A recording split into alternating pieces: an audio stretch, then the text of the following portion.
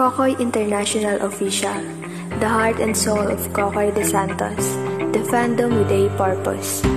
Kokoy International family, in just half a month, we already accomplished our first ever project as we delivered and contributed school supplies and snacks to the Batang Sikap children ages 3 to 16 of Sitio Caibayo, Barangay Uno, Katanawan, Quezon. They are preschool, elementary, and high school students.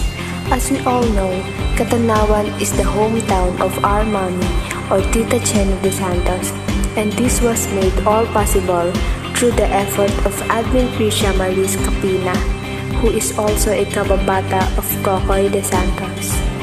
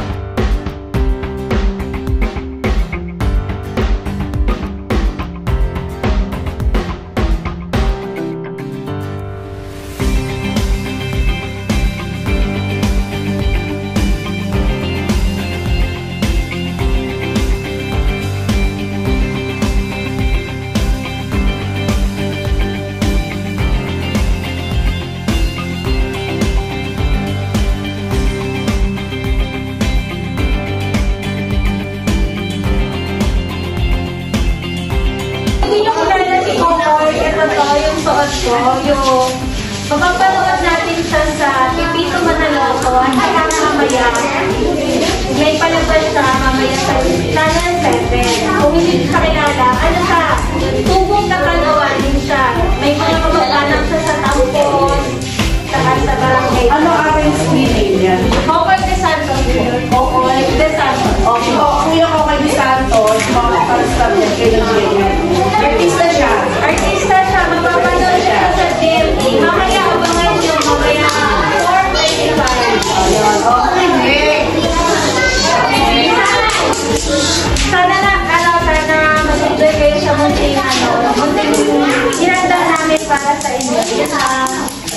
mag-promise sila